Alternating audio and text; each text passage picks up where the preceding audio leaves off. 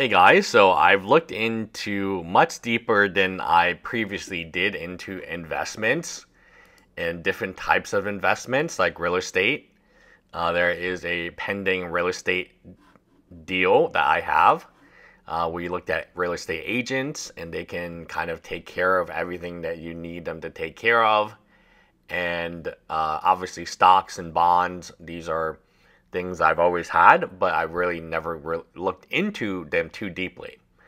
Now, I think I've kind of broke the code on what is not an investment uh, for most people. Again, uh, people will say oh, it can be an investment only if you maxed out your 401k, you maxed out stocks and bonds, you maxed out real estate. That's not most people most people, when Alpha Investment gives this advice, they're A, not going to listen, and B, they're already over leveraged in cardboard, right? They already have pallets of MetaZoo in their apartments, right? So if you don't own a home yet, if you don't own your car, if you have student loans or loans of any type, the last thing you need is to invest in cardboards, but that's the first thing that these people do. Uh, these Timmies do when people promise you a 20x return, that's not realistic. And honest to God, that's not an investment. Uh, that's only really in crypto or multi level marketing or get quick rich schemes. I own a small business, and yes, I can say that some people can win the lottery, right? Lottery winners. That, that's who wins the lottery. But the percentage of people who play the lottery versus who actually wins the lottery is exactly the percentage of chance that you can win the lottery. Meaning a lot more people will lose than win. And that's MetaZoo. So for every alpha investment who makes millions of dollars buying a $40 box and flipping it for $820, there are tens of thousands, if not hundreds of thousands of people who got into MetaZoo, bought a box for $100, $200, and now their box is $10, $20. So the massive losses are not, or for the majority of players, 99% of players will lose money on something like MetaZoo. The 1% of players, the Baileys, the Argos Anonymous, who, where the hell is he right now? And the alpha investments, they will always make money because they got in, quote, early or they are influencers, right? These influencers always make money. So beyond this interesting little case example of what is when somebody promises you a, a return that is over, let's say, 200%, and it's this guaranteed return and there's no risk, you got to walk away from that because there is nothing in life that I found. Even when I buy magic collections, I'm buying at maybe a 70% margin, or sorry, not 70% margin, a 30% margin, right? And that's buy list for reserveless dual lands. So maybe a, a, a, a underground sea goes for 800. I'm to pay at least $500 for that underground sea, at least, right? Uh, 800 is pure retail, which is a price that I can't even get. So what's more realistic is that the underground sea is 700. I'm paying 500 for it, 550 even, maybe even 600 depending on what the market is like that's not even a guarantee that by the time I buy it, it's shipped out to me that the card is still worth that much money retail, or that's what I can get.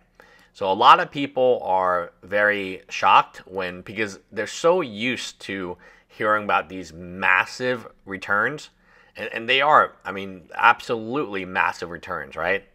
Um, that are being speculated. I mean, when you look at alpha investment, he's selling these little bundles for $820, which is essentially a booster box. That's crazy to me, right? He, again, you know, distribution cost at the time was $70. He had a special relationship, and since it was so early on, right? I'm sure that his cost was less than 70 per box. And he could have sold a box. That's what people wanted. Uh, people wanted the boxes and I feel really, really sad for all those people because they're they're thinking in their minds, "Hey, man, we're gonna get rich from this is Pokemon, baby. Look at the price of a Pokemon first edition box. That's definitely Nightfall, right? I mean, it's like me buying Jungle first edition, um, and it was not. It was nowhere. It was nowhere close, right? it was um, nowhere close to that uh, that deal, if you will. So that's kind of what I learned from the whole thing was when you're talking about an investment, people are not i mean investments are slow. They they grow at 1% a day and that's very volatile right? Well, having had experience in the stock market for three years now i've uh, 600 i put 600k in and well i'm at 600k now i don't know how much i put in probably like far less but it like for it to go up one point or two points is like crazy like, it, but but like these people are saying that these things MetaZoo can go up 20 times, 20 hundred points. It doesn't make any sense, guys. Like, there's no, nothing that goes up even 100% a day.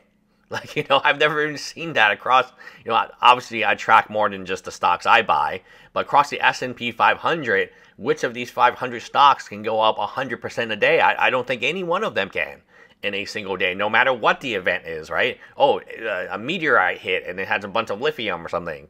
It, it, you know, the the Nvidia is still not going up 100% a day. It might go up 20%.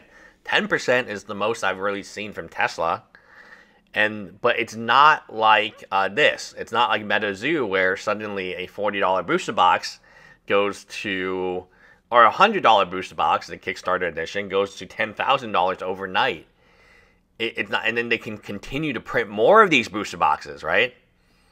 And that's what they did, and they gifted them to influencers. This is pretty disgusting, you know. Now that I have a better understanding of investments um, via, you know, actually making them, seeing them go up and down, trading them, and so on, I can I realized that MetaZoo was just, you know, anything pitched to you as like, wow, this thing's getting, everyone's going to get quick rich.